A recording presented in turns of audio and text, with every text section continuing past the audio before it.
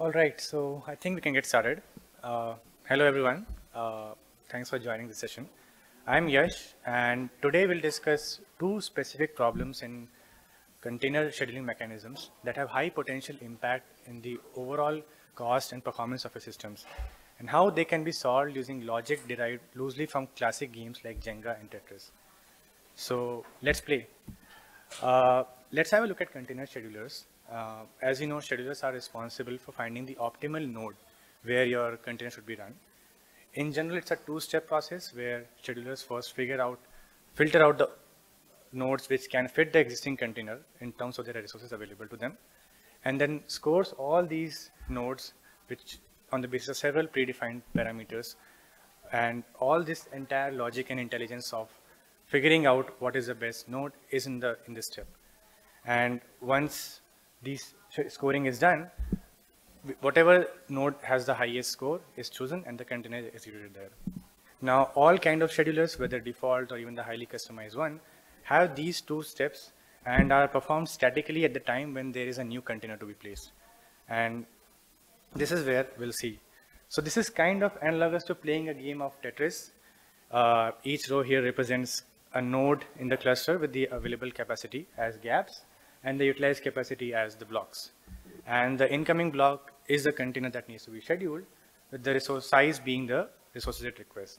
So in this example, this needs four units of resource to be scheduled. Now, in the game, you use best efforts to uh, place it in the existing rows and minimizing the gaps as much as possible. And just you would want as something like the bottom few rows are, which is densely packed system. However, as you may have understood, uh, playing this game for a while, you end up in a state with something like this, where you have gaps here and there in every which row, and make this thing playing game a little difficult. And this something similar happens in containers as well. So as resources decrease in any cluster, the optimization possibilities that scheduler have in the scoring stage tend to decrease as well. And it becomes like a best effort scenario where you have very limited choices and container has to place somewhere first. It's kind of like going back to the game analogy, you're playing the game at a very high level and you have to perform this at an n dimensional level because you don't just have one resource, you have CPU, memory, something else as well. And all those factors have to be considered in. So because there are now lesser and lesser schedule optimizations, there are lesser efforts in densely packing the system. And we start seeing more and more fragments of such uh, available resources, which are not big enough to schedule anything new, and they're just getting left out. And if you feel adding more nodes help in this situation, it doesn't really, because sure, schedulers can now optimize the placement logic again in the new nodes that you have, but whatever has been scheduled and whatever fragments that you have in the existing cluster remain as is. And what is the impact of this? We'll just see. So let's take an example, real world. Let's say we have three nodes in the system with six or nine containers running. At this stage, we have a total of 600 millicores of CPU and 1200 MB of RAM available. Let's say we consider only these two resources. So let's say if I try to place a container C4, which is requesting just 300 millicores of CPU and 600 MB of RAM, which is much less than what uh, clusters has available, you would see that scheduling will fail because no node collectively has these two amount of resources together. And if you have any kind of auto scaling enabled in your cluster, you would spawn out another few nodes and try to place it there. So you will be able to solve this thing directly, but it has an additional impact in the cost of your clusters. So what if there's some kind of an overlooker that can identify these kind of situations and problems and try to see if there are rescheduling options possible that can fit this container here itself. So in our example, if we move container C1 from node 1 to node 2, we have accumulated more amount of resources in node 1 than the requested resources by C4. And we can place it directly here. This sounds so simple, and it is actually, if we can identify this opportunity. And one thing to note here is that this will not be possible by regular schedulers because once containers are scheduled, there's no, uh, they're not even touched. And which is fair enough because you don't want your containers to be killed off without uh, user inputs. And what we do here is basically we generate recommendations in the form of move and place, which could be implemented on the clusters like Kubernetes. And using their underlying APIs and constructs like node and pod affinities. And we have multiple migration strategies, singular and multiple. And uh, in singular, we displace only one container to place a bigger container and recursively solve for the smaller containers until we can place it. And in multiple, we remove multiple smaller containers to fit a big one and try to see if we can solve this thing.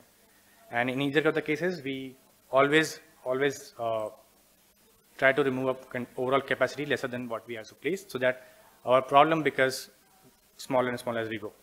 And all of these things are done not at real time in the cluster. We are doing some kind of simulations in memory map and then try to figure out these things.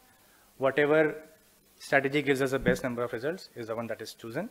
And we can run it after a certain number of iterations and uh, this helps us place it. Or if not, this is the regular thing which is going on will continue as it is. So this is one problem that is what, what we solved. There's another problem that is very, very invisible, but is a significant one. So let's take again a container example here. So let's say if we have three nodes and we have six containers running. Now if you look at a closer look, node 1 has as high as 90% CPU usage at this point, but memory usage is very less. On node 3, it's completely opposite story. You have 20% CPU use, but memory usage is very high. Which means all the CPU intensive nodes are somehow scheduled on node 1, which is already starved for CPU. And all those applications will start like fight among themselves to get a hold of CPU and they might get throttled. In case of memory, they might even be killed or restarted. And that's where this problem comes in. You have this problem has a huge potential to cause abrupt performance degradations and even potential downtimes in the system. So how do we solve this? It's quite simple actually. Just keep a balance. So let's say if we swap the most imbalance causing applications in node 1 and node 3. So CPU intensive application highest is C2 in node 1 and node 3 has the highest CPU intensive application as memory intensive application as uh, C2 as well. So if we swap these two, the crucial impact this has is now the resource usage in all the two nodes are much more equitable. You now have close to 40 and 50% of resource utilization in all the two nodes. And that means all these applications can now handle any sudden extreme burst load or traffic without any degradations as such. And this is kind of analogous to playing a game of Jenga now, where each row represents a node again and the block is a container. And in each turn, we, just like in the game, we remove the block which has least contribution to the overall balance of the entire Jenga building. Same way we swap the containers that have causing the most imbalance, causing the most amount of disparity in terms of resource usage. And what we do here is we identify these imbalance by a mathematical construct called entropy, which is bas basically could be a number in, in cases of uh, just considering two resources, it's a CPU to memory ratio. What we do is we try to have an equal amount of ratio on all the three nodes of whatever nodes that you have in the system. And we aim for that with a kind of a swap recommendation. So we do these swaps regularly, periodically for a fixed number of time and until we can no longer perhaps observe a significant change in the uh, entropy values in each of the nodes.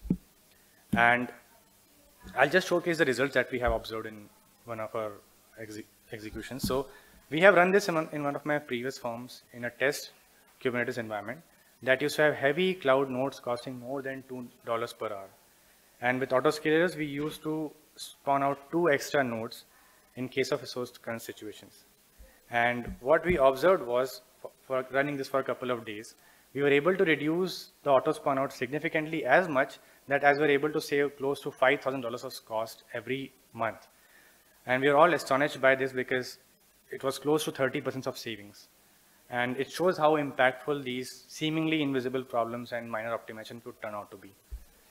So that's all we have. In case you would like to know more about the implementation details on Kubernetes that we have done and perhaps contribute or collaborate, Here's a GitHub link for the project, and we'll hope to see you there. So that's all I have. In case there are any questions, we have a minute for that.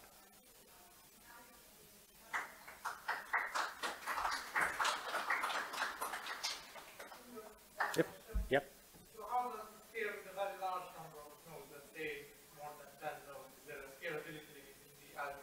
Actually, no. It, all that is limited is the amount of time you would take more to uh, to basically schedule the pod. So let's say if you have uh, maybe five seconds of time, for example, to schedule your container that you can take extra. Because let's say if you're doing this at runtime and you want to spawn out a new node, let's say if you're in cloud provider like GCP, you would want to add more machines in the system. That will take much more time. Then you can rather have a few seconds of extra time. And then that can be provided as an input to the algorithm. And that will consider, okay, you have five seconds. So whatever the recursive logic that we have, we can basically try to prune the every branch of search space that we have and look for until the time is reached out. If we can find a solution, yes. If it not, whatever happens is still better than what would have been the case otherwise. So that as, a, as an input we have, how much time or deadline that you have to complete this uh, scheduling mechanism, rescheduling I would say. Uh, if there are any other questions, uh, uh, I think we're done. If you have anything to discuss with me, please find me and uh, we'll be happy to answer questions. So thanks for joining and have a rest of the conference. Thank you.